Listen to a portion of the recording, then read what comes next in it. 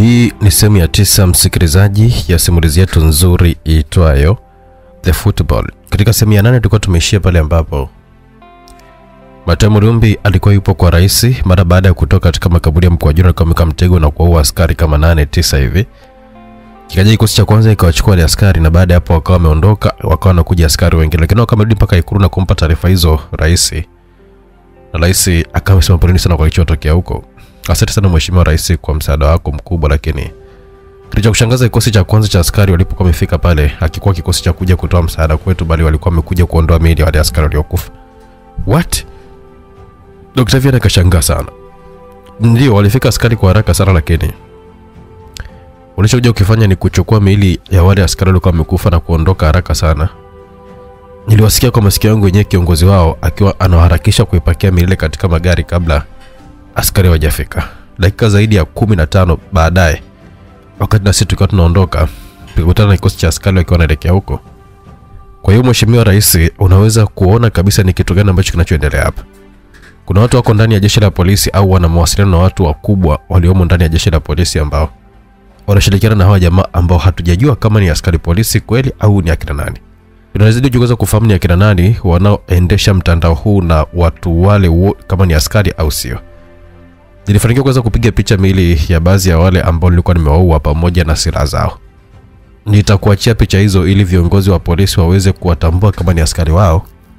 Tukishafahamu ni akina nani na wanatoka kituo gani cha polisi, tutaweza kuwafahamu viongozi wao. Au viongozi wao lazima wanakuwa na mahusiano na akina Nathan na, na ndio watakao tueleza mipango miovu ya Marekani kwa nchi yetu. Tukiwapata hao viongozi wao, tutafahamu mambo mengi sana kutoka kwao. Mheshimiwa Rais, hicho ndicho kilichotokea usiku wa leo, akasema Matayo. Tuliishia hapo msikilizaji, na tunaendelea kutokea hapo hapo tulipokuwa tumeishia. Patrick Sike ndo mtunzi wa simulizi, director ndo anayekusimulia. Unaipata simulizi kupitia YouTube channel ya Simulizi Maxi au kupitia SMX app ambayo ni download application inapatikana pale Google Play Store, na ukiwa nayo hiyo unaweza kupata simulizi zetu nyingi nzuri bila kusubiri kivip zaidi. Lakini pia kuna application ya Simulizi Max huko, simulizi zetu pia zinapatikana. Na kama unatumia iPhone basi tucheke kupitia nambari yetu ya WhatsApp 0677 062 012 utapata simulizi zetu kwa haraka zaidi. Tuna pamoja kujua ni kilijiri msikilizaji, katika simulizi nzuri kweli kweli itwayo The Football, hii ikiwa ni sehemu ya tisa msimu wa kwanza. Nimekosa la kusema ila poleni sana na hongereni kwa kazi nzuri ambayo mlioifanya. Sasa naamini kweli kutakuwa kuna mtandao wa watu ndani ya serikali yangu ambao wanashirikiana na Marekani. Nathan anafanya kazi kwa niaba ya serikali ya Marekani, na kama kuna mtu ndani ya serikali yangu ambaye anashirikiana na Nathan, basi anashirikiana moja kwa moja na serikali ya Marekani. Lazima tuwatafute hawa wote na tuwapate na wapate stake yao. Wakati ambao tuko vitani tunapigania uchumi wetu, hatupaswi kabisa kuwa na watu kama hawa. Inawezekana hata kati ya watu ambao wanaonizunguka kuna watu ambao wanashirikiana na Marekani kuweza kunihujumu. Kuna kitu kilitokea Marekani ambacho mpaka sasa hivi najiuliza kilitokeaje, lakini sijaweza kupata majibu lake. Nilikutana na wale wawakilishi na wafanyabiashara wa China na yule mjumbe wa rais wa Korea Kaskazini kwa siri, lakini kesho yake rais wa Marekani alikuwa na taarifa zote za yale ambayo tulikuwa tumeongea na wajumbe wale, na hapo ndipo mgogoro kati yangu mimi na Marekani ulipoanzia. Matayo, unadhani kwamba Nathan anaweza akahusika chochote na jambo hili? Unadhani kwamba hii ni mojawapo kati ya kazi anazokuwa anazifanya Nathan kwa kupata taarifa zangu mimi? Akauliza Dr. Viviani. Kuna uwezekano mkubwa wa hilo jambo, Mheshimiwa Rais. E, naomba kwanza kuuliza, je, Nathan kuna kitu chochote kile aliwahi kukupa unakivaa, aidha ni mkufu, bangeli au saa? Akauliza Matayo. Nathan alinipa mkufu wa thamani kubwa sana kwenye kidani chenye madini ya Tanzanite ambao waga ninauvaa mara chache sana, ingawa Nathan amekuwa akinisisitiza kwamba ni uvae mara nyingi sana. Upenda kuniona nikiwa nimeuvaa. Akasema Dr. Vivian, ulivaa ulipokuwa umekwenda Marekani? Wakati uko zungumza na hao jamaa, ulikuwa umeuvaa? Ndio, nilikuwa nimeuvaa. Na sasa nilikusha nitaarifu kwamba tutaonana New York, na kila mara nionapo hupenda sana kuniona nikiwa nimeuvaa mkufu huo alionipatia kwenye kidani cha thamani kubwa sana chenye alama ya V, alama ya jina langu mimi. Unaweza ukanipatia huo mkufu kama hutojari? Akasema Matayo.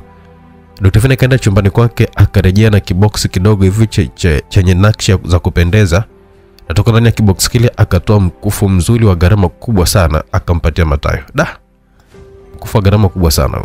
Gharama yake ni kiasi gani? Milioni mia moja na hamsini. Akasema Dr. Vivian na wote wakatazamana. Matayo akachukua mkufu ule akautazama kwa umakini sana na kutoa kitu fulani hivi katika mkoba wake na kuchomoa kitu fulani kama kamsumeno kadogo hivi akaikata sehemu ya nyuma ya kile kidani na kisha akatoa kitu fulani hivi ndani yake akitazama na kumwonyesha Dr. Vivian. Kama nilivyokueleza awali kwamba Nathan hakuwa na mapenzi yote kwako, bali alikuwa karibu yako akikuonesha mapenzi makubwa ili tu kukupofusha, bali alikuwa na kazi maalum, na hiki ndicho ambacho alikuwa anakifanya. Alikuwa na kazi ya kukusanya taarifa zako ndani ya mkufuu wa thamani kubwa sana. Kumewekwa kifaa hiki hapa kidogo ambacho hukusanya taarifa zako zote. Kila unapovaa mkufu huu, kuna kitu cha kuweza kuhisi joto la mwili, na hivyo kifaa hiki kilichofungwa humu ndani huanza kufanya kazi na kurekodi kila kitu ambacho unakuwa unakiongea wakati ukiwa umeuvaa huu mkufu. Na ndio maana Nathan alikuwa amekuomba uuvae mara kwa mara ili waweze kuyafahamu mambo yako mengi. Kama ulikuwa umeuvaa mkufu wakati ukiwa unazungumza na hao jamaa, basi waliweza kunasa maongezi yako yote, na ndio maana ndio sababu ya rais wa Marekani kuweza kufahamu kuhusu mazungumzo yako na mjumbe maalum wa rais kutoka Korea Kaskazini. Dr. Vian alitaka kusema kitu, midomo ikabaki inatetemeka. I hope he is in hell right now. Akimaanisha kama rais yupo kuzimu sasa hivi. Kumbe amekuwa ananidanganya kwa muda mrefu bila mimi mwenyewe kufahamu. Nilikuwa mjinga sana kwa kukubali kupofushwa na penzi la bandia. Kama ni hivi, kuna mambo mengi sana ambayo watakuwa wameyapata kutoka kwangu. Kwani nimekuwa na mkufu kwa muda mrefu sana. Kuna kitu gani ambacho hasa wanakitafuta kutoka kwangu? Akasema Dr. Vivian. Um, hilo ndio jambo ambalo tunapaswa kuweza kulichunguza Mheshimiwa Rais. Lazima kuna jambo ambalo wanalichunguza kwako. Akasema Matayo. Matayo, tafadhali naomba ufanye kila wezalo kuhakikisha kwamba swala hili linafika mwisho. Samani kuhusu maneno niliyokuwa nimeyazungumza awali, na kuomba hakikisha unachunguza na kuwafahamu wote walio katika mtandao huu wa hapa Tanzania ambao wanashirikiana na serikali ya Marekani. Nitajitahidi Mheshimiwa Rais, lakini kwa kuanzia kuufahamu mtandao huu, tunaomba utusaidie tuweze kuwafahamu hawa askari walio wao usiku wa leo kule Mkwajuni kama ni askari wa jeshi letu, na tutawafahamu watu waliowatuma. Picha zao utabaki nazo na utazikabidhi kwa mkuu wa jeshi la polisi ili ziweze kufanyiwa kazi haraka sana na kuwafahamu watu wale kama ni askari wetu, akasema Matayo. Kesho asubuhi, cha kwanza kabisa nita, kitakuwa ni hicho. Nitakutana na, na wakuu wa jeshi la polisi na nitatoa maelekezo ya kuwatafuta hawa jamaa na kufahamu ni akina nani na kama sio hapa natoa pisare za na vifaa vyetu vya jeshi la polisi, akasema Dr. Vivian. Asante Dr. Vivian, hiyo itakuwa ni sehemu nzuri sana ya kuanzia kuufahamu mtandao. Vilevile naomba nikukumbushe kwamba Camilla Snow anawasili asubuhi ya leo akiwa anatokea Havana. Kwa hiyo kama nilivyokuwa nimekuomba kwamba apate kuruhusiwa kuingia nchini, kwani atatusaidia sana katika uchunguzi wangu, akasema Matayo. Utalifanyia kazi hilo, usijali, akasema Dr. Vivian. Asante Dr. Vivian. Sisi ngoja basi tukapumzike walau hata kidogo, kwani usiku mzima tumekesha macho. Akasema tena kumrushia Dr. Vivian picha zile za wale watu waliokuwa wamewaua makabulini katika simu yake, alafu akaiacha pia ile saa ya Nathan ili rais aitunze. Wakaagana na Mesha Kijumbo, akachukuliwa na walinzi wa rais akapelekwa mahali walikokuwa wameandaliwa nyumba. Matayo na Telesa wao wakatumia gari la Mesha Kijumbo akaondoka. Matayo, sitaki unipeleke nyumbani kwangu. Ninaogopa sana wale jamaa wanaweza kabisa wakanifuata nyumbani. Nataka tuende wote nyumbani kwao kama utajali. Akasema Telesa. Hakuna tatizo kuhusu hilo. Akasema Matayo kwa ufupi. Nimesikia unamwambia dada kuhusiana na huyo mtu anaitwa Camila Snow. Ni nani huyo? Camila anatoka Marekani na anakuja hapa kwa lengo la kutusaidia kusaidiana na mimi katika shughuli hii hapa, kama ujuavyo kwamba swala hili tayari limekwisha vuka mipaka ya nchi. Akasema Matayo. Matayo, asante sana kwa kile ambacho ulichokifanya leo.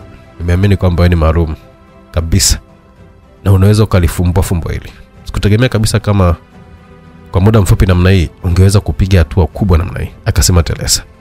Asante, lakini haya yote yasingewezekana bila ushirikiano wako. Umefanya kazi kubwa sana. Endapo singemaliza Nathan, haya yote tusingeweza kuyafahamu, tusingejua kama kuna mtandao wenye mahusiano naye, akasema Matayo, na safari ikaendelea.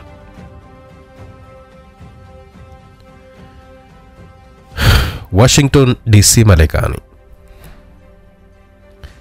Saa tatu za usiku jijini Washington DC, kikao cha sili kinafanyika katika ikulu ya Marekani ambacho kiliwakutanisha wakuu wa shirika la kijasusi Marekani CIA na Rais Mike Straw. Karibuni sana. Wili uliponi uliponiambia kwamba unahitaji kuja kuniona jioni ya leo nimelazimika kuweza kuahirisha shughuli zangu nyingine ili tukutane. Naamini kuna jambo la msingi sana ambalo mnalokuja kunieleza hapa. Akasema rais mike straw mheshimiwa rais nimelazimika kuja kukuona ili kukupa taarifa za muhimu sana. Kuna matatizo yametokea tanzania. Akasema wili gardner mkurugenzi wa cia nini kimetokea tanzania? Kwa wakati huu hii ni taarifa ambayo sitaki kabisa kuisikia kabisa yani. Macho yetu yote tumeelekeza tanzania. Tukiruhusu kosa lolote ile hata dogo tutatoa mwanya wa korea kaskazini kujimarisha tunapaswa kufanya kila kitu tuwezacho kuhakikisha kwamba korea kaskazini na tanzania hazianzishi mashirikiano ya kibiashara. Hebu nieleze kitu gani kimetokea? Akauliza mike Stroh, rais wa marekani um, kuna tatizo limetokea tanzania ambalo ni muhimu ukajulishwa mapema ili ufahamu kinachoendelea huko hasa kutokana na umuhimu wa tanzania kwa sasa.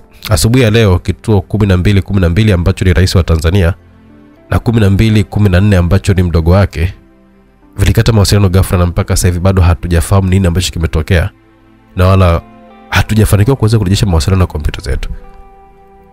Hawa watu wawili ni muhimu sana hivyo kupotea kwao ghafla kumetushtua lakini tayari nimekushatoa maelekezo kwa 11 c.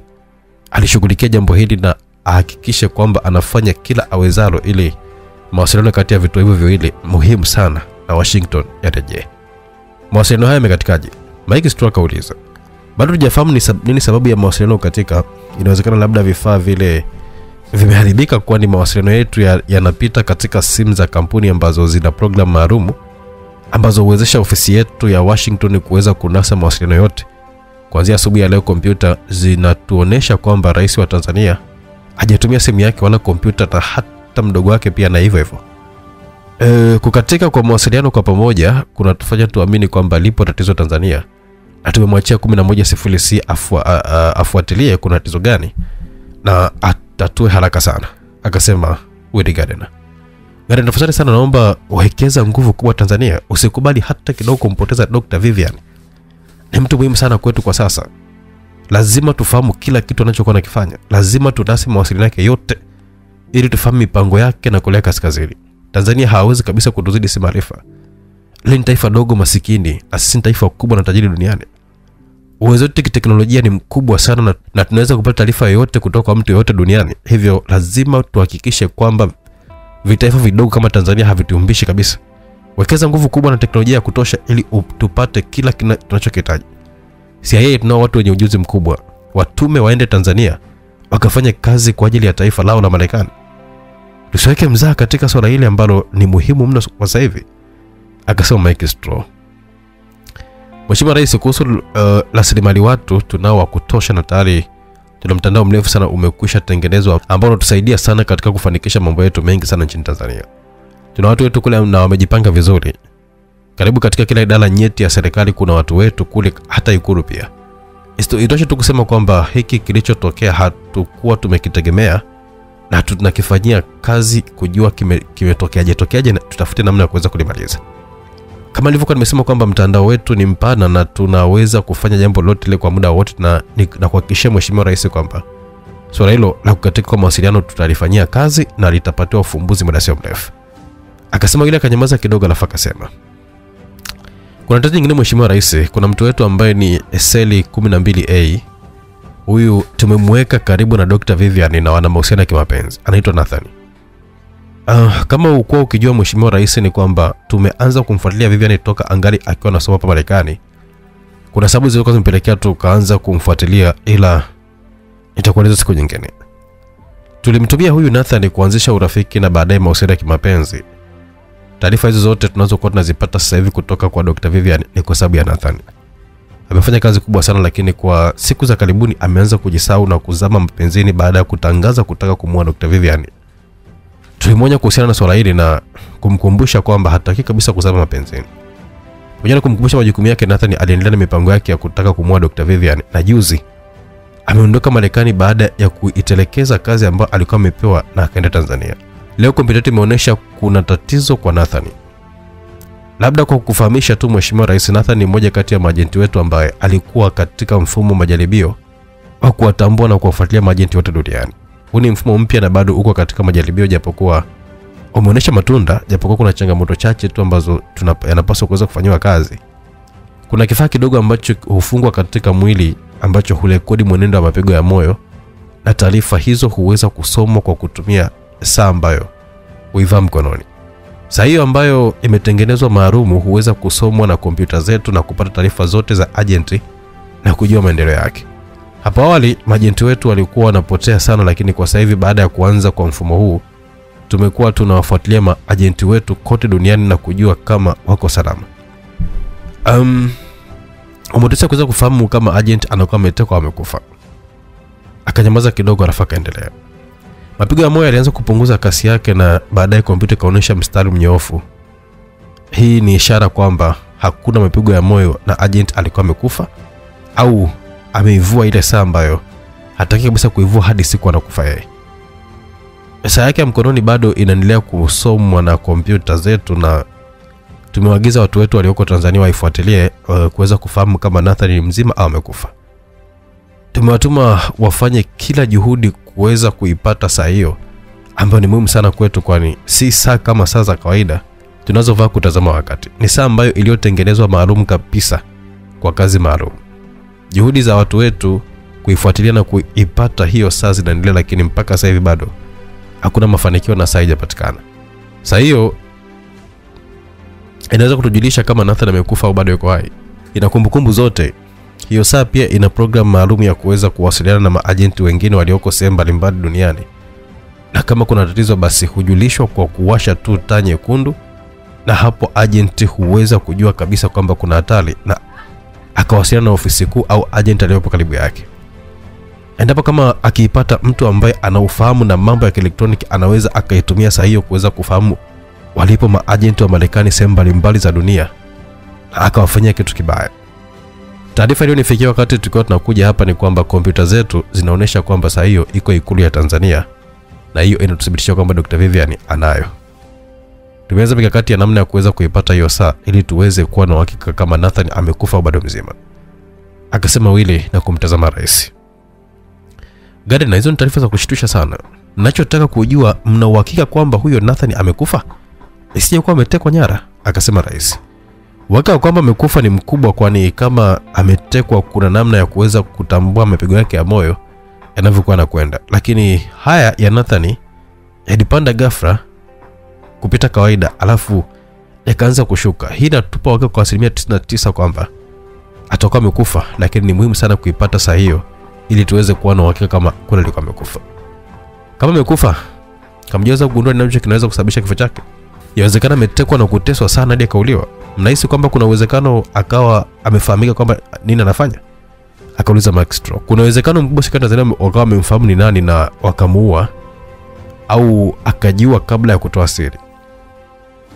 Niliunganisha tukio hili la Nathan na lile la kupotea ghafla kwa mawasiliano na rais, na ninapata wasiwasi kwamba kama amekufa, serikali ya Tanzania itakuwa inahusika katika kifo chake. Saa yake kuendelea kuonekanika Ikulu ni ishara tosha kwamba kuna mkono wa serikali katika mas maswaibu yaliyomkuta Nathan. Kupotea kwa Nathan naweza kusema kwamba ni pigo kwetu, kwani alikuwa ni muhimu sana katika jitihada za muda mrefu za kuitafuta football, akasema Willy, na Mike Stowe akashtuka. Football? Akauliza kwa mshangao. Ndio mheshimiwa rais, kumekuwa na juhudi za kuitafuta football. Rais Arnold Mubara wa Tanzania aliwekuanzia utaratibu wa kutembea na begi alilokuwa amelipa jina la football. Begi hilo linabeba siri kubwa ambayo rais alikuwa anatembea nayo, na ilitulazimu kuweza kufanya operesheni maalum ya kuweza kulipata begi hilo, lakini hatukuweza kufanikiwa, na badala yake ndege ya rais ikaanguka na rais Arnold Mubarak akafariki dunia, na Sebastian Matope ambaye alikuwa ni mbebaji wa football akitoka salama ndani ya ndege akiwa na begi hilo. Baadaye Sebastian aliuawa, lakini football haijawahi kuonekana. Dr. Vivian ni mtoto wa Sebastian na ameanzisha uchunguzi wa kutaka kujua nani waliomuua baba yake na vilevile vile kutafuta begi hilo la football. Wapelelezi anaowatumia katika uchunguzi huo tayari wamekwisha piga hatua kubwa, na tunawahakika kwamba watafanikiwa kuweza kugundua mahala ilipo football, kwani Sebastian Matope alitoka ndegeni akiwa na begi hilo, na tunawahakika kabisa kwamba kuna mara lilificha. Ingekuwa rahisi sana kwetu kuweza kufahamu kila kitu kama Nathan angeendelea kuwa karibu na rais, kwani wachunguzi hao wanaripoti kwa rais. mna uhakika hao wachunguzi hawataweza kugundua ushirika wa Marekani katika ajali ya ndege ya rais wa Tanzania? Akauliza Mike kwa wasiwasi. Hapana mheshimiwa rais, hawataweza kugundua chochote. Hakuna chochote cha kutuunganisha na ajali ile, kwani watu wote ambao walikuwemo ndani ya ndege walifariki dunia. Usiwe na wasiwasi kabisa na hilo, akasema Wile. Kwa hiyo mheshimiwa rais, akaendelea Wili, tumekuja kufahamisha matatizo hayo yaliyotokea nchini Tanzania, lakini tunajitahidi kuweza kuhakikisha kwamba kila kitu kinakwenda vizuri, akasema Wili Gardner, na ukimya ukatanda. Baada ya muda, Mike Straw akasema, Gardner, kuna mzani nauona hapa unaofanyika kuhusu swala la Tanzania. Swala la Tanzania naona halipewi kipaumbele stahiki hadi mambo haya yanatokea. Sitaki kusikia tena mambo kama haya yakiwa yanaendelea kutokea Tanzania.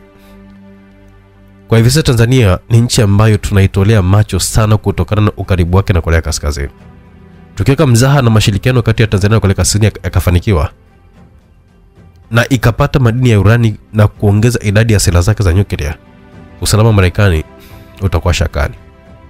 Uchumi wa Korea Kaskazini unakuwa kwa kasi kubwa sana, na tupaswe kabisa kuiacha nchi ile ikajimalisha zaidi kijeshi, kwani litakuwa ni taifa hatari sana kwa usalama wa dunia.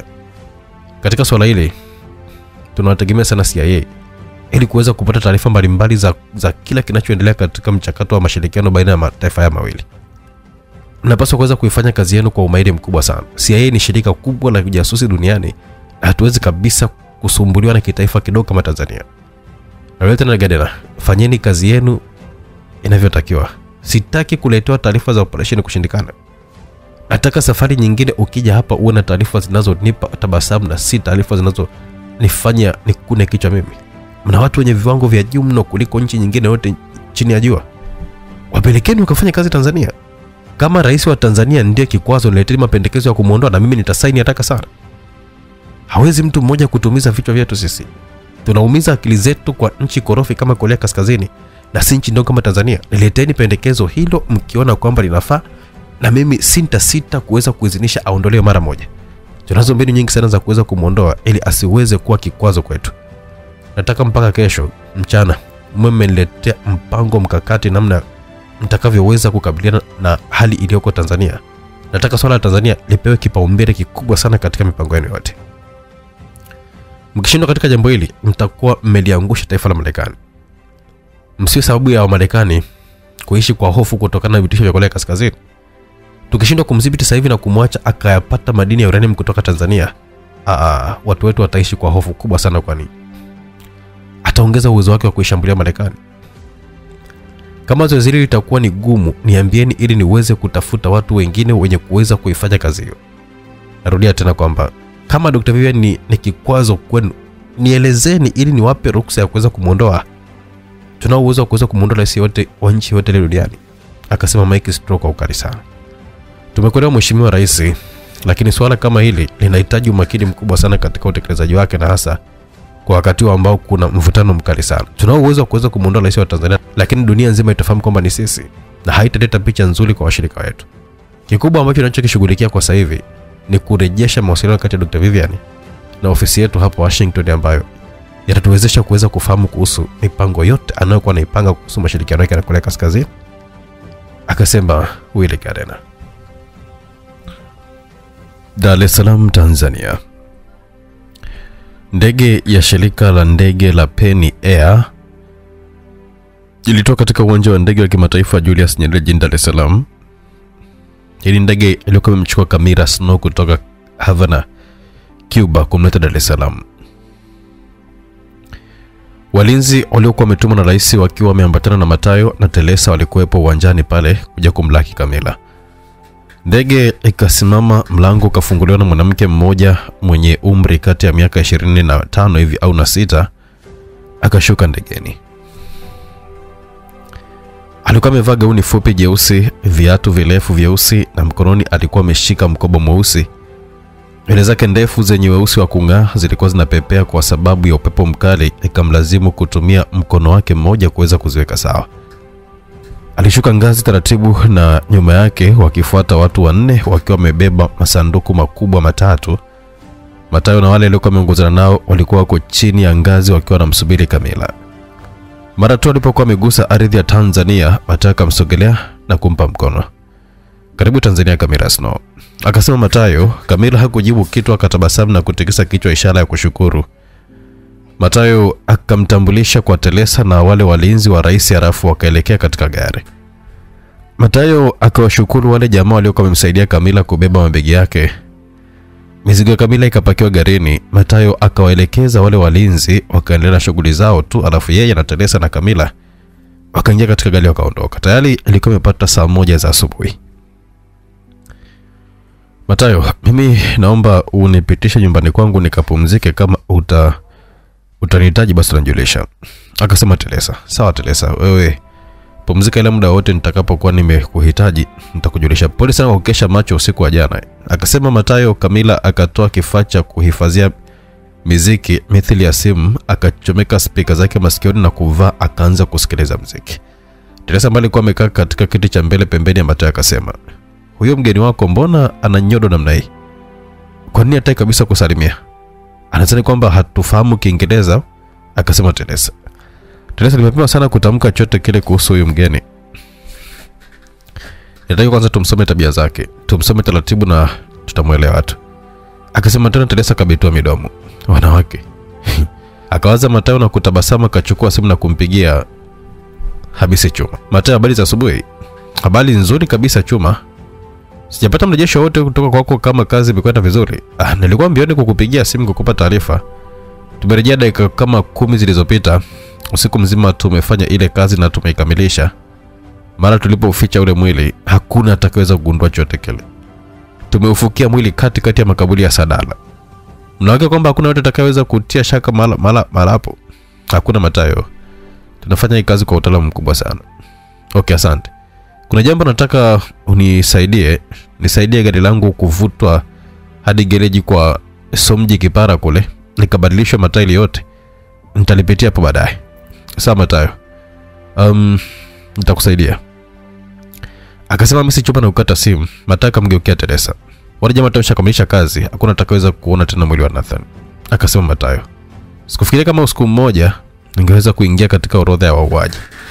Nimetoa roho ya mtu lakini ni kwa ajili tu ya kuweza kujilinda mimi na dada yangu. Watu hao waliua familia yetu na sasa bado wanaendelea kutufuatilia tu na dada. Angeendelea kuwa hai, tungelikuwa hatarini sisi na si pia kuuawa, akasema Teresa.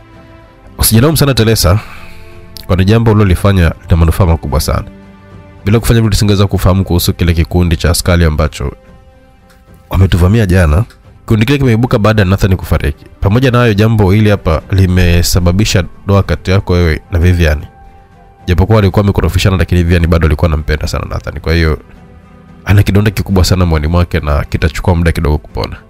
Na kushauri mpe muda kidogo kidonda chake kipone. Kwa sasa hivi mahusiano yenu hayatakuwa kama zamani. Ila nakuomba tu usivunjike moyo. Endelea tu kumpenda na kumheshimu sana. Iko siku naamini kabisa mambo yatakaa sawa tu, akasema Matayo. Nalifahamu hilo Matayo, na ndio maana nataka nijiweke mbali kabisa naye kwa muda, ili asinioneone mara kwa mara karibu yake na kupata hasira. Nilichokifanya sio kitu kizuri, na hata kama ningelikuwa ni mimi pahala pake ningekasirika. Naamini kwamba iko siku yatakuisha tu, akasema Telesa. Matali alimpisha tisa nyumbani, alafu yeye na Kamila wakawa wameendelea na safari hadi walipokuwa fika katika makazi ya Matayo. Kamila hakuwa ameongea hata neno moja. Safari hii nimekutana na mtu aina yake, hataki kuongea ni, ni mgeni hapa Dar es Salaam, lakini hageuzi hata shingo kutazama nje kama wanavyofanya wageni wengine. Inawezekana labda kwa sababu ya ugeni. Um, hata hivyo lazima nitafute namna ya kuweza kuendelea naye. Ninamshukuru Mungu amenijalia uwezo wa kuweza kuishi na mtu yoyote ule, hata shetani ninaweza kuishi naye. Akawaza na kutabasamu wakati kwa anamtazama Kamila kwa wizi kupitia kioo kidogo hivi cha kumwezesha dereva kutazama nyuma. Hata hivyo mm, hakikweli kipusa mwanangu, da tutamekamilika kila idara, yani hakuna sehemu naweza kutoa kasoro. Inawezekana najifahamu namna jinsi alivyo mzuri, ndo maana ana nyodo namna hii, akawaza Matayo. Walifika katika makazi ya Matayo, akamkaribisha Kamila ndani. Hapa ni wapi? Kwa mara ya kwanza Kamila akaongea na Matayo akatabasamu. Hapa ni nyumbani kwangu, ndipo utakapoishi kwa sasa. Jisikie nyumbani, ila endapo kama hautajisikia huru hapa, nitakutafuta makazi mengine, lakini hapa ni sehemu salama sana. Unaishi na nani hapa? naishi mwenyewe hapa ila nina wafanyakazi wawili ambao huja asubuhi na kufanya kazi kisha huondoka mida ya saa kumi na nusu jioni una mke sina vizuri sipendi sehemu yenye watu wengi Naonyesha chumba changu nikapumzike akasema kamila mmoja kati ya watumishi wa matayo ambaye hushughulika na usafi akaokota mizigo ya kamila hadi katika chumba cha wageni. Hiki ndicho chumba utakacholala. Kuna wahudumu wako hapa na chochote utakachokuwa na kihitaji utawaeleza tutakusaidia. Pumzika tutaona baadaye akasema matayo. Asante sana matayo. Kamila akasema na kukaa kitandani matayo akafungua mlango ili atoe kamila akamwita. Matayo naweza kupata kahawa tafadhali bila wasiwasi unaweza pata. Akasema matayo na kutoka akamwelekeza mpishi kwamba akamwandalia kamila kahawa. Taratibu ninaanza kumsoma kamila. Nitamzoea tu nitafanya naye kazi vizuri sana. Akawaza matayo baada ya kuingia chumbani kwake akajimwagia maji baridi na kujilaza kitandani. Akachukua simu na kumpigia peniela akamjulisha kwamba kamila alikuwa amefika salama na kumshukuru kwa msaada ule mkubwa kwa mbali kengele za kanisani zikasikika zikilia na kuwakumbusha watu kwamba siku ile ilikuwa ni jumapili siku ya bwana. Matayo akajilaza kwani alihisi macho mazito sana. Hakuwa amelala usiku mzima. Ni jumapili siku ya mapumziko lakini kwa rais wa jamhuri ya muungano wa tanzania alikuwa anaendelea na majukumu yake ya kuwatumikia wananchi. Saa mbili na nusu za asubuhi tayari alikuwa yupo katika kikao na viongozi wa juu wa jeshi la polisi katika kikao hicho alikuwa amehudhuria waziri wa mambo ya ndani ya nchi mkuu wa jeshi la polisi tanzania na maafisa wengine wa ngazi za juu waliokuwa wamefika kwa wakati kufuatia wito wa rais ambaye alikuwa amewataka wafike asubuhi na mapema. Rais alipoingia katika chumba cha, cha mkutano wote wakasimama wakatoa heshima na rais akaketi na ndipo wote wakawa wameketi. Bila kupoteza wakati dr vivian akafungua kikao. Habari za asubuhi waheshimiwa. uh, nawashukuru sana kwa kufika kwenu kwa wakati najua leo ni jumapili si kama mapumziko. Lakini tulio katika kazi hizi za kuwatumikia watu hatuna mapumziko. Muda wote tupo kazini. Nawashukuru kwa kuwa mnalifahamu hilo na mmefika wote. Akasema rais na kuwatizama maafisa wale akaendelea. Kikao hichi hakitakuwa kirefu na nimewaiteni hapa niwaeleze jambo moja muhimu sana kwa usalama wa nchi yetu. Naamini tayari nyote hapa mmekwisha pata taarifa mambo yaliyotokea usiku wa kuamkia leo kuna matukio mawili ambayo yametokea usiku wa kuamkia leo. Kwanza ni tukio la kuvamiwa kwa watumishi wawili wa ofisi yangu akiwemo mdogo wangu teresa. Wakiwa katika barabara ya uwazi walivamiwa na kikosi cha askari. Nasema walivamiwa kwa sababu taratibu za kawaida za jeshi la polisi kumsimamisha mtu wanayemtilia shaka hazikufuatwa hazikufuatwa. Walichokifanya askari hao walipiga risasi tairi moja na gari likawa limepoteza mwelekeo lakini wakajitokeza kulidhibiti likasimama. Askari hao baada ya kuona gari limesimama akaanza kumimina risasi kwa bahati nzuri kwamba gari hilo risasi. Kama isingelikuwa hivyo nadhani kwamba lengo lao lilikuwa ni kuwadhuru. Kuona hivyo ikawabidi wanipigie mimi kuniomba msaada na mimi nikawa nimewasiliana na igp nikamwomba atume askari haraka sana. Kitu cha kushangaza ni kwamba askari wale wavamizi walipewa taarifa ya kikosi cha askari kilichokuwa kinakwenda eneo lile na wakaingia katika magari yao na kuondoka haraka sana. Hii inatoa picha ya wazi kwamba askari wale ambao nawaita wavamizi walikuwa na lengo baya na wale wafanya wafanyakazi wangu na inawezekana kwamba walikuwa na watu wao ndani ya jeshi la polisi ambao walikuwa wamewapa taarifa za kuhusiana na kikosi cha askari kilichokuwa kinakwenda maeneo yale. Akanyamaza kidogo halafu akaendelea. Haikuishia hapo askari hao walikwenda kuvamia nyumbani kwa mkuu wa idara ya ujasusi mstaafu mesha kijumbo na kufanya uharibifu mkubwa sana na halafu wakaichoma nyumba yake kwa bahati nzuri yeye na familia yake hawakupata madhara yoyote yale. Kufuatia matukio haya mawili vijana wangu walifanya operation ya usiku, usiku mzima na kuwabaini watu wao kwamba ni akina nani na wakafanikiwa kuweza kuwapata. Ila katika mapambano askari yao wavamizi wapatao tisa walifariki dunia. Akanyamaza tena kuwatazama maafisa wale halafu akaendelea. Ninazo picha hapa za askari walikuwa wamepoteza maisha kufuatia mtego ambao ulikuwa umewekwa na vijana wangu jana usiku Mheshimiwa Waziri, nitakukabidhi picha hizo na ninataka zifanyiwe kazi haraka sana kuweza kuwabaini watu hao ni akina nani, na ninataka mpaka saa saba mchana wa leo wametambulika ni akina nani. Je, ni askari wetu ndani ya jeshi la polisi? Kama ndio, walitumwa na nani kufanya matukio hayo ambayo naweza kuyaita kwamba ni ya kiharifu? Nataka ni ufahamu mtandao wao wote, lakini kama sio, nataka nifahamu wametoa wapi sare na vifaa vya jeshi, letu. Nataka silaha hizi zichunguzwe, je, ni za jeshi letu la polisi? Tatu, watu hawa wanaonekanika kuwa na mashirikiano na watu kutoka ndani ya jeshi la polisi nataka watafutwe watu hao wapatikane. Mheshimiwa Waziri, fuatilia hili swala. Nataka mpaka saba mchana wa leo na nimepata majina ya watu hawa na ni akina nani. Akasema rais na kumkabidhi waziri wa mambo ya ndani ya nchi bahasha yenye picha za wale wa jamaa waliokuwa wameuana na kina Matayo. Kikao kikafungwa, akagana maafisa wale wakaondoka. Alipomaliza ikawa na maafisa wale wa polisi, alikutana na waziri wa mambo ya nje ofisini kwake, akawa na mazungumzo mafupi. Katika mazungumzo hayo, waziri wa mambo ya nje alimjulisha rais kuhusu ujio wa waziri wa mambo ya nje wa Marekani. Mbona imekuwa ghafla sana? Akauliza Dr. Vivian. Hata mimi nimejiuliza hivyo hivyo. Akadai kwamba ni safari ya dharura. Amekueleza sababu ya ziara yake? Mheshimiwa Rais hajanieleza, lakini amesema kwamba ni kwa ajili ya kuzungumzia masuala muhimu uh, sana. Mheshimiwa, serikali ya Marekani kwa sasa hivi wanajitahidi sana kufanya kila njia ili kuweza kushawishi uweze kuachana na mpango wako wa kuanzisha mashirikiano na Korea Kaskazini. Nadhani hilo ndo kubwa lilomleta hapa Tanzania kwa dharura. Ndio fikiri kidogo na kusema Marekani wanajisumbua sana. Msimu wangu utabadilika kamwe. Nimekwisha amua kusonga mbele na hakuna kurudi nyuma. Atapoteza muda wao bure. Akasema Dr. Vivian na kutoa maelekezo kadhaa wa kadhaa kwa waziri yule. Wakaagana na kurejea kwa kupumzika. Mike Straw bado hajaamini kama kweli nimedhamiria kuanzisha mashirikiano na Korea Kaskazini. Muda sio mrefu sana. Atalishuhudia jambo hili likiwa ni la kweli kabisa na atazidi kuchanganyikiwa. Nimechoshwa na nchi zetu kupangiwa tu mambo ya kufanya kwa vile tu ni maskini. Tanzania inahitaji maendeleo ya haraka sana. Maendeleo hayo yatapatikana kwa kufanya maamuzi magumu. Naamini hiki kilichofanyika ni sahihi kabisa kwa nchi. Akawaza Dr. Vian nikiwa sebuleni kwake anapumzika. Twende Washington DC, Marekani. Ni saa nane za usiku kwa saa za Marekani.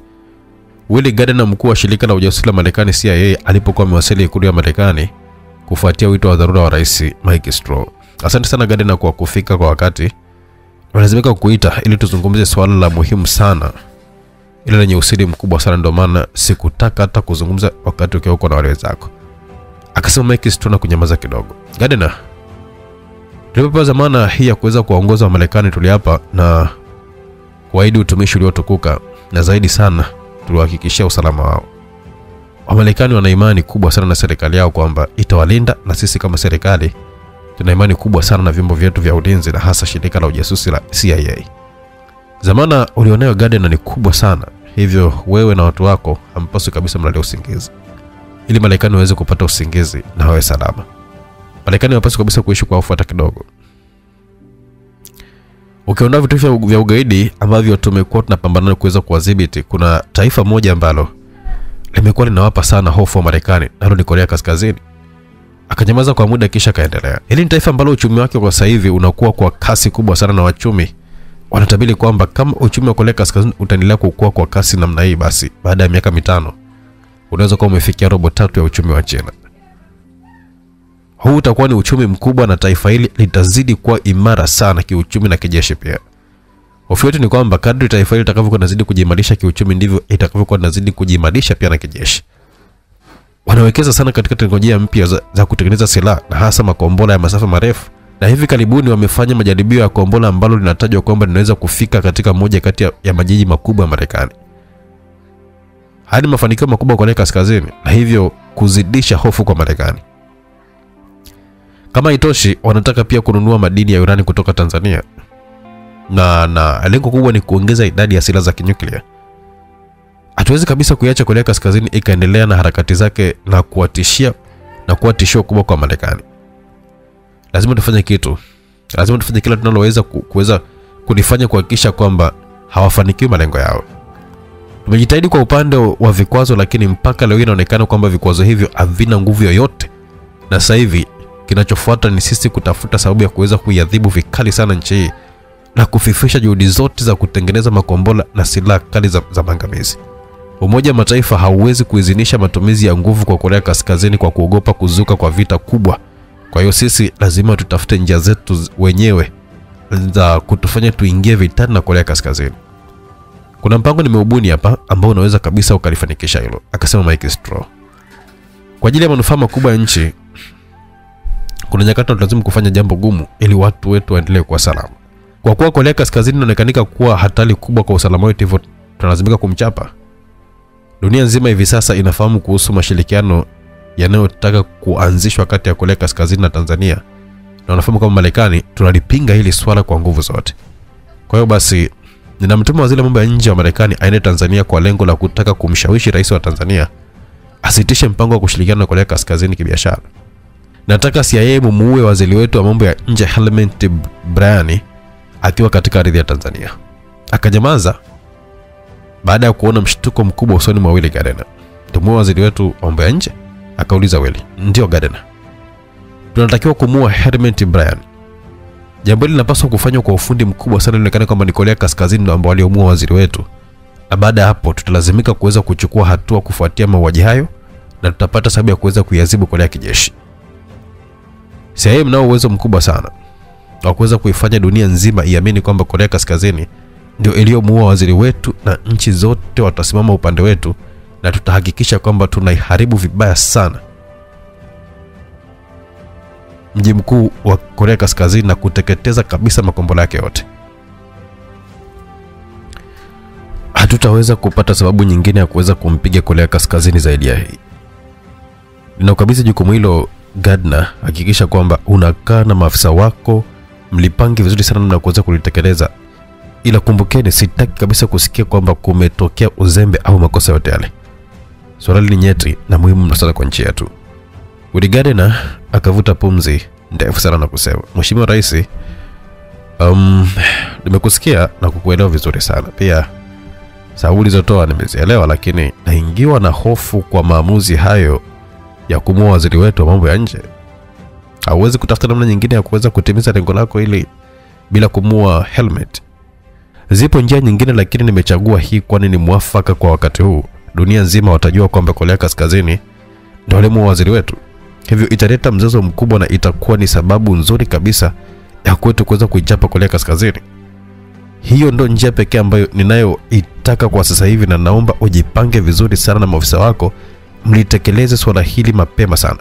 Narudia tena, swala hili ni la siri na la muhimu sana, hivyo sitaki kuweza kusikia kwamba kuna makosa au uzembe wowote ule ambao umefanyika. Tumieni mbinu na maarifa yote kufanikisha jambo hili akasema Mike Straw na kuendelea na mjadala kuhusiana na swala lile. Dar es Salaam, Tanzania.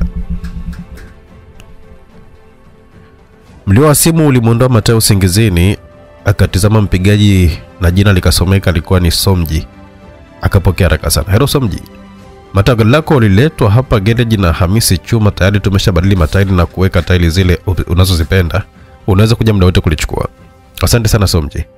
Nitumie gharama ni kutumia sasa hivi. Akasema Matao na Somji akamtumia gharama za jumla.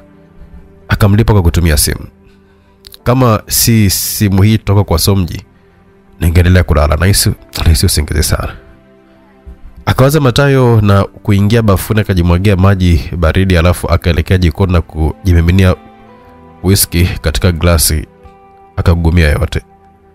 Hapa sasa najisikia vizuri ni wakati wa kuweza kumwamsha Kamila ili kazi iendelee. Akawaza na kwenda chumbani kwa Kamila, akagonga mlango mara tatu bila majibu. Aligonga tena kujibiwa. Akaingiwa na wasiwasi, akanyonga kitasa cha mlango aukuwa umefungwa. Akachungulia ndani, chumba kilikuwa kitupu, Kamila hakuwepo. Matayo akahisi mapigo ya moyo wake akiwa yanabadilika. Haraka kama ameenda kumuuliza mmoja kati ya watumishi wake alipo Kamila, akamuuliza kama amekwenda kukaa katika bwawa la kuogelea. Matayo akashusha pumzi, akatoka haraka haraka katika bwawa la kuogelea na kumwona Kamila akiwa amekaa tu ametulia akisoma kitabu huku akiwa amevaa spika masikioni akisikiliza muziki. Alikuwa amevaa fulana ndogo nyeupe ambayo ilikuwa imemfunika kifua chake na kuliacha wazi tumbo lake. Alikuwa amevaa pia kaptula fupi nyeupe na sehemu kubwa ya mapaja yake ilikuwa iko wazi. Alionekanika kufurahia sana manzali ile ya kupendeza pale nyumbani. Mateo kama ameenda kukaa katika kiti cha pembeni yake. Kamila akavua spika za masikioni. Nimegonga chumbani kwako nikashtuka baada ya kukuta chumba kitupu, akasema Mateo. Uh, sikuwa na usingizi nikaamua kuja kupumzika hapa. Uh, ninapenda sana maji na hupenda sana kupumzika kandoni mwa bahari. Hata nyumba yangu pia iko karibu na bahari. Akasema Kamira. Nalipotabasamu vishimo vikatokea mashavuni mwake. Matayo akaishika chupa ya mvinyo ambayo alikuwa anakunywa Kamila. Mvinyo huu unatengenezwa na zabibu ya Tanzania. Umeupenda? Nilimtuma yule mtumishi wako za za zani Zamda, anaitwa Zamda. Akasema Matayo, ndio Zamda. Nilimtuma akanunulia mvinyo wa Tanzania, akaniletea huu. Nimeupenda, ni mzuri sana. Sijawahi kabisa kutumia bidhaa za kutoka Tanzania. Nimeshangaa kwa mvinyo huu safi kabisa ambao unaweza hata kuuzwa katika masoko ya kimataifa, akasema Kamela. Tunazalisha bidhaa nyingi nzuri, ila changamoto inakuwa ni ushindani mkubwa uliopo katika soko la kimataifa. Ni mara yako ya kwanza kufika Tanzania? Ya, ni mara yangu ya kwanza. Baba aliponiambia kwamba ninakuja Tanzania, nikashtuka sana, kwani ni nchi ambayo haikuwepo katika akili yangu kuitembelea. Nimewahi kuisikia hapo kabla, lakini hivi majuzi Tanzania imekuwa inatajwa sana duniani kote kutokana na mambo ambayo yaliyotokea ambayo naamini unayafahamu. Sijawahi kabisa kufika bara la Afrika, ila kuna nchi ambazo nazisikia kama vile Afrika Kusini, Nigeria, Somalia na Ethiopia. Ililazimu kuweza kutenga muda kuweza kuisoma Tanzania ili niweze kuifahamu vyema. Hata hivyo, nimesoma mambo mazuri sana kuhusu Tanzania. Ni nchi ambayo iliyojaliwa utajiri mkubwa sana madini, ardhi nzuri, mboga za wanyama, mlima mrefu sana Kilimanjaro, na zaidi sana watu wake wana upendo mkubwa. Ni nchi nzuri sana kuishi. Ningependa kuzunguka nchi yote na, na kushuhudia uzuri huu mkubwa uliojaliwa nchi. Kwa ufupi, nimeipenda sana, akasema Kabila na kutabasamu. Unaonekanika unapenda sana utalii, akasema tayari kweli napenda sana utalii. Mm, kila ninapokuwa napata nafasi waga na kwenda sehemu mbalimbali kutalii na kupumzika. Napenda kujifunza mambo mapya, kujua mila na tamaduni za watu mbalimbali duniani, akasema Kabila na kunywa mvinyo. Nisaidie kuhusu bonde la Ngorongoro. Natamani sana niipate picha namna jinsi kulivyo kabla sijatembea sijatembelea huko. Akasema Kamila Mateo akatabasamu. sijawai kufika bonde la Ngorongoro, kwa hiyo siwezi kabisa kuelezea uzuri uliopo huko. Kamila akatoa miwani na kumtazama Tayo kwa mshangao mkubwa sana. Hujawahi kutembelea bonde la Ngorongoro? Kwa nini? Sijawahi kwenda huko, japokuwa natamani siku moja niende. Umenishangaza sana. Kwa nini msipende vya kwenu kwanza kabla ya wageni kutoka nje? Ninyi kama Watanzania mlipaswa kuwa mstari wa mbele kutembelea vivutio vilivyomo nchini kwenu na kuipatia serikali mapato. Nimesoma takwimu, idadi ya watu zaidi ya milioni hamsini, na endapo kama nusu yao tu angelikuwa wanatembelea hifadhi za taifa kila mwaka, serikali yenu ingepata mapato mengi sana. Jifunzeni kupenda vya kwenu, na ndio maana nilimtuma Zamda akanitafutia mvinyo uliotengenezwa Tanzania. Nitakuwa mtu wa ajabu kama nikija hapa na kutumia bidhaa za Marekani inaonyesha kwamba somo la uzalendo bado linahitajika sana hapa Tanzania. Mimi ni Marekani na naitanguliza Marekani kwa kila ninachokuwa nakifanya. Tunaipenda nchi yetu na tunaipigania. Ninyi vile vile mnapaswa kuwa hivyo eh? Mnapaswa kuweka nchi yenu mbele, msisubiri watu wa nje waje kuwajengea nchi. Tanzania itajengwa na Watanzania wenyewe, akasema Kamila. Da, unafaa sana kuwa mwanasiasa wewe, akasema Matao, na mara ya kwanza kabisa akasikia kicheko cha Kamila. Uh, tunapokutana vijana kama hivi tunabadilishana mawazo na kupanua akili, tunajifunza mambo mapya kuhusu siasa. Sipendi sana kuwa mwanasiasa.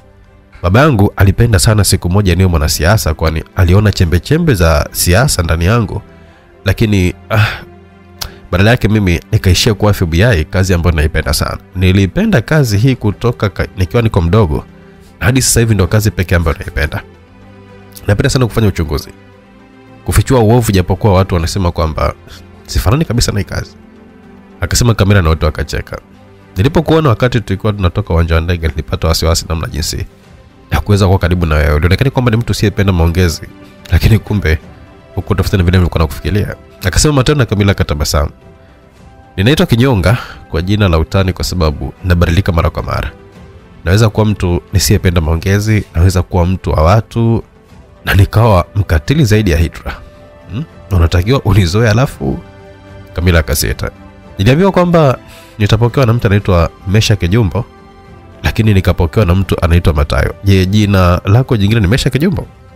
Hapana, mimi si Mesha Kijumbo. Huyo ni mstaafu, aliwahi kuongoza idara ya ujasusi wa taifa. Uh, babako Jimmy Sino na Mesha Kijumbo ni marafiki wakubwa sana. Mimi niliwahi kufanya kazi katika idara ya ujasusi, lakini kwa sasa hivi nimekwisha achana na shughuli hizo, ninafanya shughuli zangu tu za kibiashara.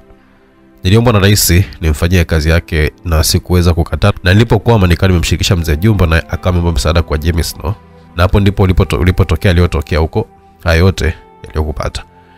Uh, kwa namna ya pekee kabisa naomba nikushukuru sana kwa msaada mkubwa uliotusaidia ambao ha, hatutaweza kuulipa. vilevile pole sana kwa matatizo yote aliyokupata wakati ukiwa katika harakati za kutusaidia kupata ukweli wa jambo ambalo tunalichunguza. Pamoja na yote yaliyokupata na kuahidi kwamba utaishi tanzania kwa raha na amani. Mesha kijumbo nitakupeleka kwake atafurahi sana kukuona vilevile kesho. Nitakutambulisha kwa rais pia akasema matayo niliposoma kwamba watanzania ni watu wa karimu sana nilizani kwamba labda ni maneno ya kutunga tu lakini pale nilipokuwa nimeambiwa kwamba kuna ndege maalum inakuja kunichukua kunileta tanzania niliamini maneno hayo. Sikutegemea kabisa eti kama ndege ile kubwa ingekuja havana kwa ajili ya kunichukua mimi pekee tu. Asante sana nyote kwa msaada huu mkubwa akasema kamila. Kamila wewe ni mtu muhimu sana kwetu hivyo kila juhudi ilibidi ifanyike kuhakikisha kwamba unafika salama tanzania. Kamila alikunywa mvinyo na kusema baada ya mambo kuharibika kule marekani nitaka kwenda urusi kujificha huko aliko baba lakini akaniomba kwamba nije tanzania kusaidia katika uchunguzi. Nilikubali kwa kuwa aliniomba sana hivyo nimekuja. Nataka nifahamu ni uchunguzi gani ambao nimekuja kusaidia. Akauliza kamila. Mataka mwelezea kamila kila kitu kuhusiana na swala lile la kuanguka kwa ndege ya raisi mauaji ya Karl sebastian na kupotea kwa begi la silokuwa limepewa jina la the football. Kamila alisikiza kwa umakini sana alafu akanywa mvinyo wake na kusema ushiriki wa fakrim Adnasor ambaye ni cia katika suala hili unaweza unaweka picha ya wazi kabisa kwamba alitumia kufanya kazi hiyo na shirika lake la cia kwa hiyo serikali ya marekani inahusika katika sakata hili. Hii ni aibu kwa marekani kwa kitendo kibaya kama hiki. Na kwa hili mataka kusaidia katika jambo hili hadi tufahamu ukweli. Akatulia kidogo na kusema naamini kabisa kwamba fakrim aliona na cia na inaonyesha kwamba walifahamu kwamba tayari amekusha gundulika kwamba anahusika katika sakata lile na anafuatiliwa. Ili kuendelea kuificha siri yao ikawalazimu wamuue. Hii ni mbinu ambayo inatumiwa sana na cia endapo kama watagundua kwamba kuna mmoja wa watu wao amekuwa ni hatari kwao kwa hiyo basi taarifa za fakrim kujulikana na kufuatiliwa zilitoka hapa tanzania. Tunapaswa kuweza kuchunguza na kufahamu ni nani aliyetuma taarifa hizo. Cia lazima wanatoa hapa tanzania. Pili baada ya kupekua simu ya fakrim tuligundua kwamba mtu wa mwisho kuwasiliana naye alikuwa ni Nathan ambaye niliambiwa kwamba ni mpenzi wa rais wa tanzania. Ndio Nathan na dr vivian ni wapenzi. Asante kwa taarifa yako hii hapa imetusaidia sana. Tumefanikiwa kuweza kugundua kwamba nathani alipandikizwa kumchunguza rais ila bado hatujafahamu ni nini hasa anachokitafuta. tumegundua kwamba Nathan ana mahusiano na kikundi fulani hivi cha watu hapa tanzania. Bado ninae kuwafuatiana pengine baadaye leo tunaweza kupata majibu watu hao ni akina nani akasema matayo. Kama ni hivyo Nathan ni mtu muhimu sana. Kwa kuwa ni mtu wa karibu na rais inapaswa kufanya mipango ili aweze kuja tanzania mara moja ili tuanze kumchunguza. Akasema kamila Nathan amekwisha fariki akasema matao na kumshtua sana kamila. Nathan naye kafariki lini? Umepata taarifa hizo? Akauliza kamila. Nathan alifariki jana usiku. Amefia hapa tanzania. Amekufaje? Nini kimemuua? Matayo akamwelezea kila kitu kilichotokea kuhusiana na nathani. Kamila akabaki na mshangao. Mpaka hapo ulipofika tali umepiga hatua kubwa sana. Mwanga tali umepatikana. Nathani ni njia nzuri kabisa ya kuelekea kuupata ukweli kilichotokea usiku wa jana kinaonyesha dhahiri kabisa kwamba kuna mtandao hapa tanzania ambao unatumiwa na cia ili kuweza kufahamu vizuri tuchunguze vile vifaa vya mawasiliano vilivyokuwa uh, umevitoa kwa Nadhani, tufahamu kama kuna mtu yoyote hapa tanzania ambaye alikuwa anawasiliana naye. Akasema kamila wakaelekea ndani matayo akaleta zile simu alizokuwa ametoa kwa nathan na kumpa kamila. Hii ni simu maalum ambayo hutumiwa na watu wa cia kwa shughuli za kiofisi pekee. Na rafiki zangu wako cia na wana simu kama hizi tunaweza kufahamu mengi sana kupitia simu hizi hii simu nyingine ni simu yake ya matumizi ya kawaida. Hii nyingine ya tatu ni simu inayotumia mtandao wa intaneti na hutumiwa mahala kusikuwa na, na mtandao wa simu. Akasema kamila na kuifunga kompyuta ya nathan. Hii kompyuta ina namba za siri ambazo ukifanikiwa kuweza kuzipata basi unaingia moja kwa moja katika mtandao wa cia lakini endapo kama agent akigundulika kupotea basi namba za siri hubadilishwa haraka sana kuhofia labda kwamba ametekwa nyara. Tuweke kwanza pembeni na tuyachunguze kwanza mawasiliano yake ya simu. Akasema kamila akaenda kuchukua mojawapo kati ya sanduku lake kubwa akaja nalo sebleni akafungua na kutoa kompyuta na vifaa vingine vingi akaanza kuviunganisha pale alipomaliza. Akaichukua ile simu ya nathani akaunganisha na kompyuta yake akaiwasha. Kamila aweza akagundua kwamba huko Tanzania baada ya kuiwasha simu ya nathani? Akauliza Matayo. Hawezi gundua chote kile, kwani tayari nimekwisha ingiza katika programu maalum. Uzoefu Matayo nao utaalamu mkubwa sana katika ya mambo. Akasema kamera na sura yake ilionyesha muda huo alikuwa ipo kazini. Alibonyeza bonyeza pale kompyuta yake kwa muda, halafu akasubiri kidogo na mafaili mengi yakaanza kufunguka pale. Baada ya dakika tano likatokea faili ambalo lilikuwa na kumbukumbu za mawasiliano ya Nathan. Um, haya ndio mawasiliano yote ya Nathan katika simu hii toka alipoanza kuitumia. Ni orodha ndefu sana, lakini hebu tuangalie mawasiliano hivi karibuni, hasa kwa mwezi huu. Akasema Kamila na kuanza kubonyeza tena, laki, lakini mara akaguna. Bata kuna tatizo, mfumo wa mawasiliano ni wa kutumia namba maalum. Kila agent wa CIA ana namba yake na hakuna jina la mtu na namba yake ya simu inayoonyesha, bali kinachoonekana ni namba ya agent tu. Ni vigumu kutambua nani na yuko wapi. Hakuna namna ya kuweza kuzitambua namba hizo ili kuweza kuwafahamu watu wake walioko Tanzania, au kama kuna ugumu, tuichunguze hii simu yake anayoitumia kwa mawasiliano ya kawaida. Hatuwezi kupata chochote cha kutusaidia katika simu hiyo, kwani mambo yote ya muhimu yako katika simu hii hapa ambayo anayokuwa inatumiwa kwa shughuli za kiofisi. Akasema Kamila na kutafakari kwa muda, alafu akasema itanilazimu kuomba msaada Marekani ili tuweze kupata tunachokihitaji. Kuna rafiki yangu anafanya kazi CIA, nitaomba nisaidie kuweza kuzitambua namba hizi. Kamila, hilo ni jambo la hatari sana. Unatafuta na CIA alafu unataka kuwasiliana nao? Ni hivi, kama wakifahamu kwamba uko Tanzania, sikushauri sana ufanye hivyo Kamila. Hebu tufanye namna nyingine, tafuta namna nyingine ya kufanya. Hakuna namna nyingine ya kuweza kufanya Matayo zaidi ya kuomba msaada. Mtu ambaye ninataka kumwomba msaada, ninamwamini. Niliwahi kuwa katika mahusiano naye kimapenzi na amekuwa akinisaidia mara kwa mara. Usiogope, usiogope hatari Matayo, kwani maisha yetu yamezungukwa na hatari kila kona. Naomba simu yako. Akasema Kamila na Matayo akampatia simu yake, akaandika namba na kupiga ikaita. Hello? Ikasema sauti ya upande wa pili. Jackie, tafadhali naomba usishtuke wala usitamke jina langu kama uko na watu karibu. Ni mimi Catherine. Uh, nimekuelewa, nitakujulisha baadaye. Akasema yule jamaa upande wa pili na kukata simu. Amekata simu. Akasema Kamila, lazima atakuwa karibu na watu, ila atapiga tena. Akasema Kamila. Kamila, hakika hakutakuwa na tatizo lolote ile kwa kuwasili. mataa kumaliza sentensi yake, simu ikaita. Amepiga. Akasema Kamila na kuipokea. Hello Jack. Kamila, mambo gani unafanya? Hmm? Kwani unapiga simu wakati unafahamu kabisa kwamba unatafutwa? Uogopi? Kuna msako mkali sana unaendelea hivi sasa kukutafuta wewe. Usihofu Jack, nafahamu kama natafutwa, lakini hawataweza kabisa kunipata kama hutawaambia nilipo. Akasema Kamila na ukimya ukapita. Nafahamu huwezi kufanya hivyo Jack, na ndio maana nimekupigia simu. Nahitaji msaada wako. Unahitaji nini Kamila? Na kutumia namba ya simu ya mmoja kati ya watu wenu nataka kuingia katika kumbukumbu zenu, angalie kwa mwezi huu hapa amewasiliana na mtu yoyote yule Tanzania. Kama yupo, naomba basi nipatie namba zake za simu. Kamila, hilo haliwezekani, nitajiingiza kwenye matatizo makubwa sana. Hicho unachokitaka nikifanye ni kitu cha hatari sana, alafu sina uwezo wa kuingia mahala zinakohifadhiwa kumbukumbu hizo. Watu wa daraja la juu zaidi yangu mimi ndio ambao wanaruhusiwa kuweza kuingia katika kompyuta za kuhifadhia kumbukumbu hizo. Samani, sitaweza kusaidia Kamila. Naomba huko ulikochukua tahadhari sana, kwani unatafutwa mno.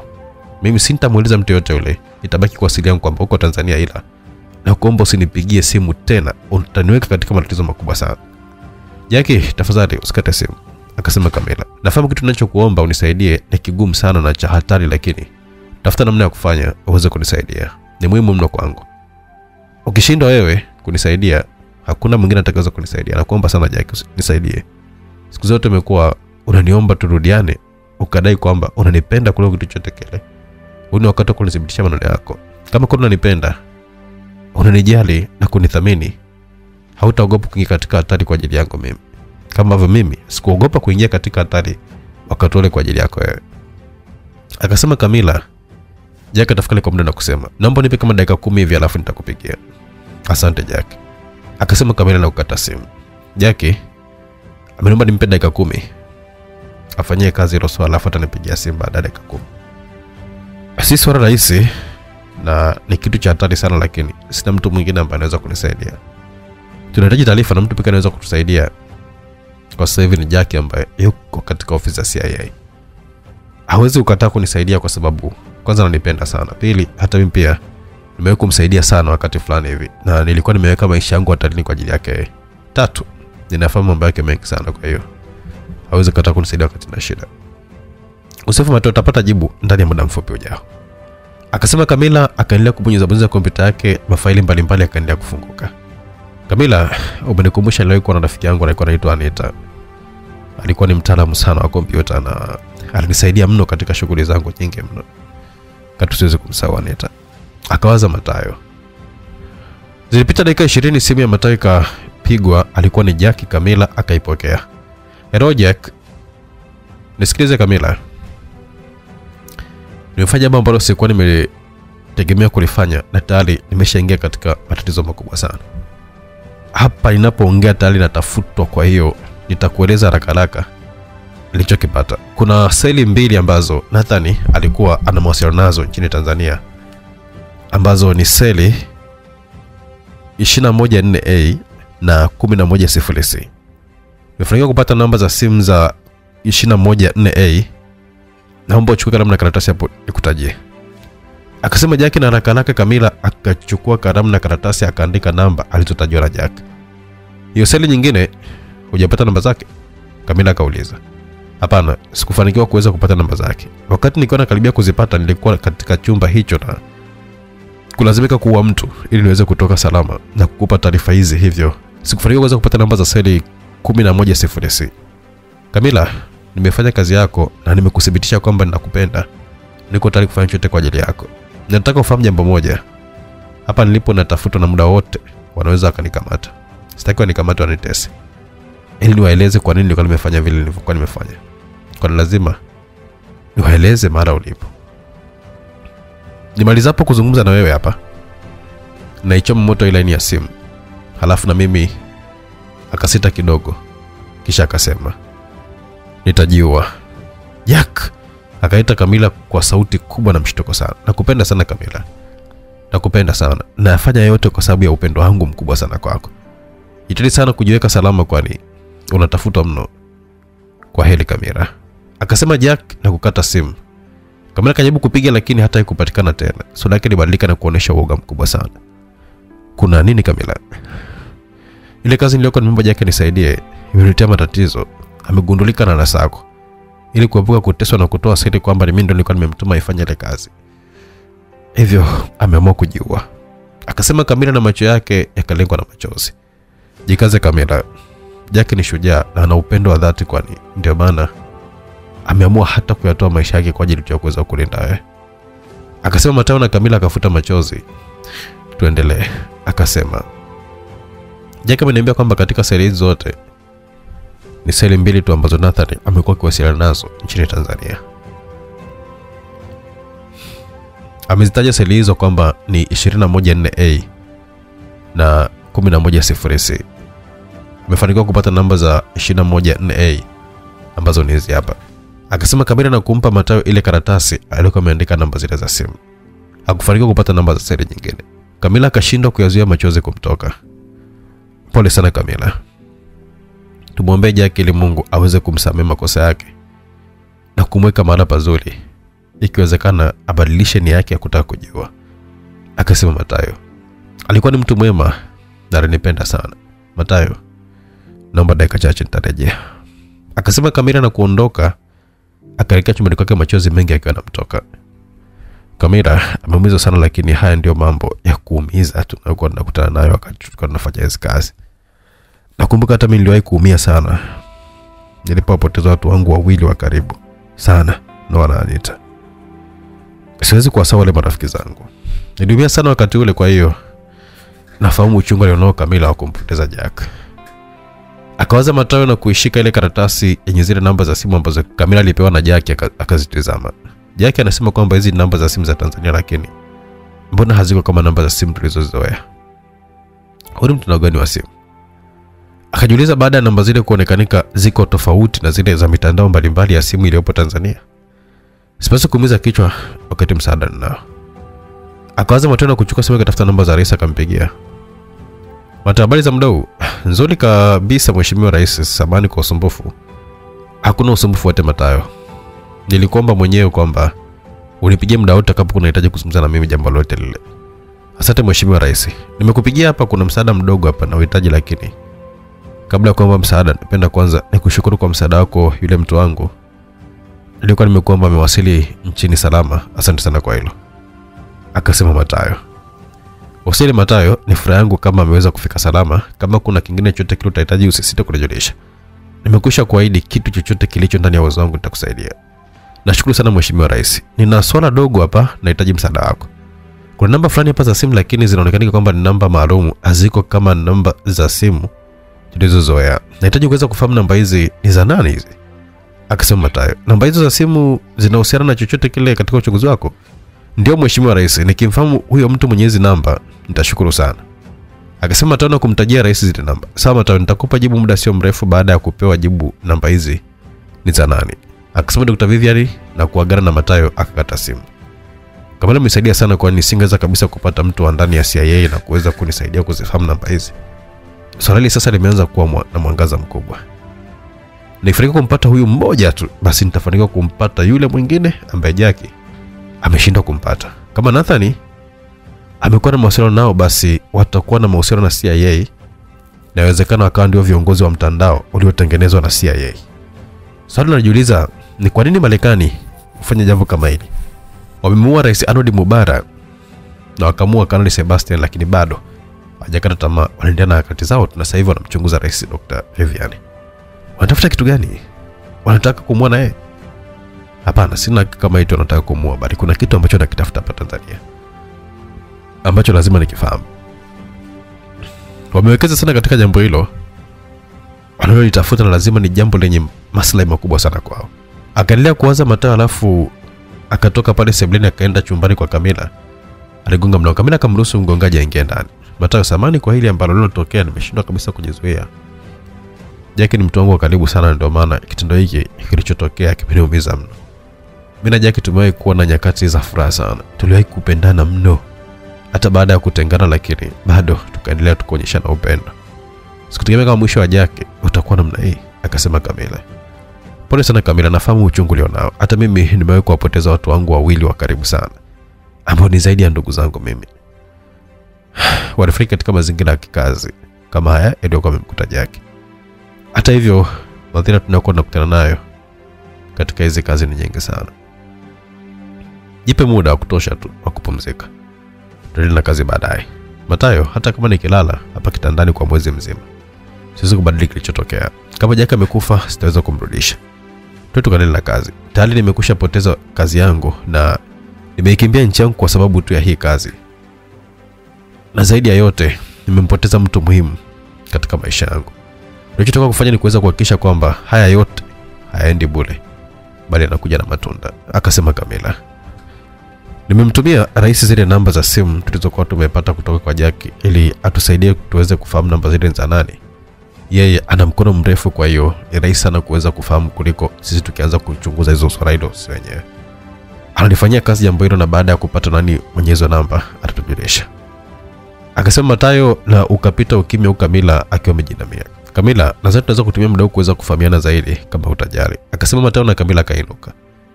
Naomba tuketi katika bwawa la kuogelea.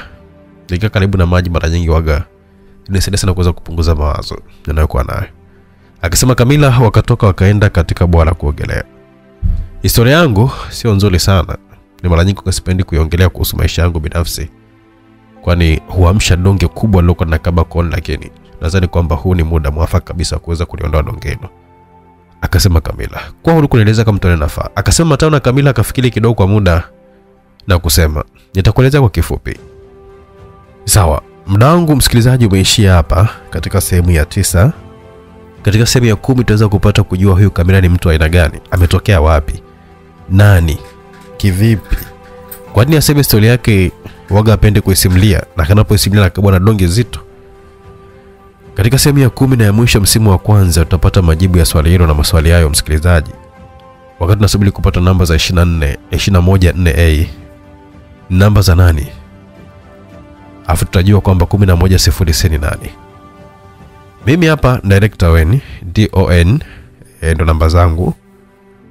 ck huyo ni Patrick, ndo namba zake hapo. Usiangalie kuanza kumtafuta hata kumpigia rais hapo simu anze kukuambia ati ni nani. 0677062012 hizo ni namba za simulizi Mix. usiangalie kuzitafuta smix app ni application ya simulizi Mix, hizo namba zake ndo hizo iko pale play store unaipata free kabisa sehemu ya kumi hiyo ni kodi ya, ya sehemu inayofuata ni baada ya hii afu inakuwa ni ya mwisho kwenye msimu wa kwanza. Tukutane katika sehemu ijayo. Uh, mpaka hapa niseme bye bye